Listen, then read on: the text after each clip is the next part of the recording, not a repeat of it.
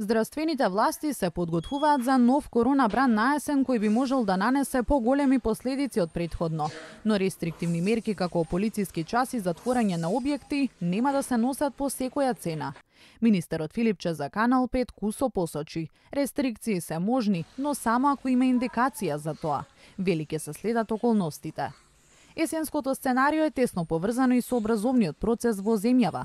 Останува енигма кога ќе стартува новата учебна година.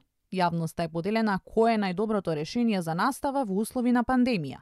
Министерот за образование Адемис за Канал 5 вели дека најверојатно наставата ќе се одвива онлайн, но додава, не се исклучува и можноста за настава со физичко присуство во помалите градови и села, каде има и помалку ученици. Сепак, како што потенцира, се во ова ќе се разгледува во Министерството од утре.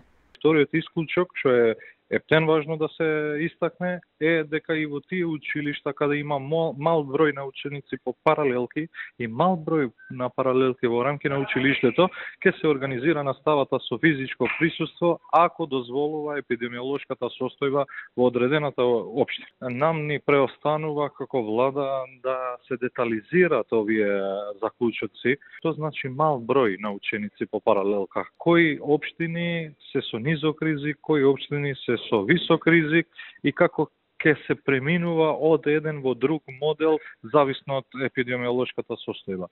Првиот човек на синдикатот за образование Јаким Неделков вели дека едно единствено решение не може да има, бидејќи не се исти условите во училиште од рурална и урбана средина. Од аспект на тоа што различни работни средини се различни, различни условите за работа, Нашиот став е дека училиштата, односно училишните одбори треба врз основа на детални анализи кои што ќе ги извршат, училишните одбори треба да донесат одлука кој модел да го прифатат. Сметам дека унифицирано едно единствено решение на национално ниво би било грешка. За председателката на комората на психолози Мирјана Јовановска, одењето на училиште би било ризично бидејќи децата се преносители на вирусот и засега наставата од дома е многу посигурна. Идеално е дека првачињата на вистина ќе дојдат во школа и ќе ги пречекат учителките и ќе бидат сите заедно и ќе учат сите заедно и после тоа првачините ќе се вратат дома.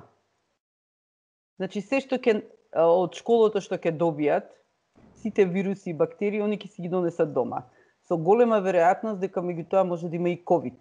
Мислам дека би требало одново уште еднаш да се размисли што ќе се добие со одењето на децата во школа, да, во едни идеални услови тоа одлично решение, ама и што ќе се изгуби. Она што Комисијата за заразни болести го даде како препорака е настава во училиштата да има само за учениците до трето оделение, останатите да учат онлайн.